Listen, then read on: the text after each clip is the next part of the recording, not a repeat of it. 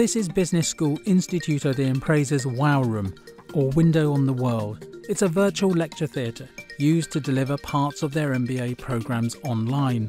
The WOW Room is the next step in the technology immersion here at IE. The Madrid based school is trying to bring the intensity and experience of a live lecture theatre into an online environment. The software can recognise the expressions on students' faces and measures levels of engagement and participation, and it can tell if they're nodding off.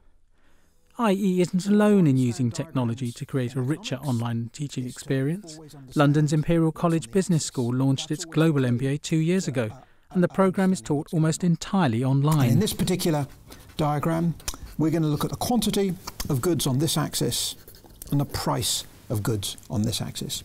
Students meet face to face on campus for one week at the beginning of the course to create a team mentality, and then again for two weeks at the start of the second year.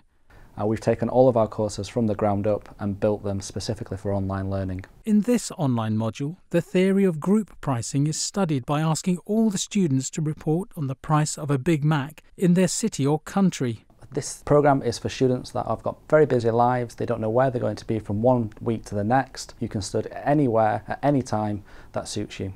Tom Robinson, President and CEO of AACSB International, an accrediting organisation for business schools, says Imperial and IE are at the vanguard of this type of delivery, along with the online MBAs at the Robert H. Smith School of Business at the University of Maryland and at University of North Carolina Kenan Flagler Business School.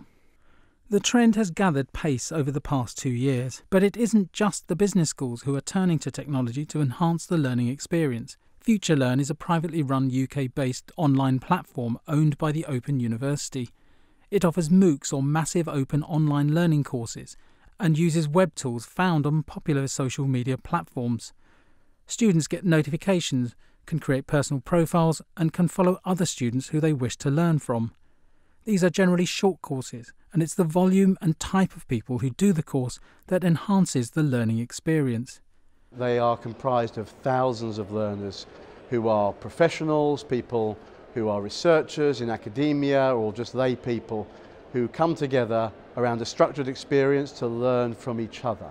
And the fundamental premise of the course is that people learn through discussion and, and, and dialogue with other people who are expert or have their own perspectives.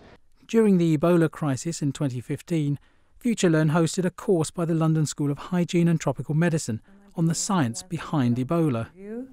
And so when the outbreak happened, I remember I was telling my staff and they said that they didn't believe that there was a thing called Ebola, and let alone that it. On the Ebola course, there were 18,000 people who signed up to the very first run of that course. Many more signed up afterwards. 11,000 started the course together. These learners came from NGOs such as the World Food Programme, from UNICEF, from Save the Children, and many from humanitarian centres set up on the scene in Sierra Leone and other places. What made it so effective and powerful was that they could all compare what was going on in their own localities, how it was being interpreted, presented on the news, how the how the symptoms were being presented, how to avoid it. All of those things came together and that global community were able to distill better practice uh, and dispel some of the myths that were prevalent even at the time. While the education sector hasn't been digitally disrupted in the way that other industries have, the current trends suggest a future of increasingly technologically and sophisticated online programs.